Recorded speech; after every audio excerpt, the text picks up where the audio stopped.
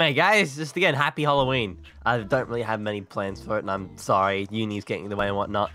But I do have an announcement I really want to make. I've taken up voice acting, and I feel like it's something that I wouldn't have considered doing growing up. I, I feel I'm more liberated, if anything. I, I, I reckon I could take it all the way. I was told not to shout around, but I feel like you guys deserve to see it. I feel like it's a it's a big part of who I am now. So let's keep this on the down low. Let's not make it big or anything.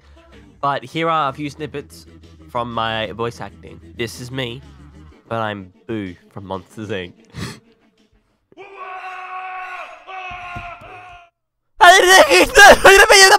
yeah, at the car wash, yeah, working at the car wash, sing it with me now. Uh, are you done in there?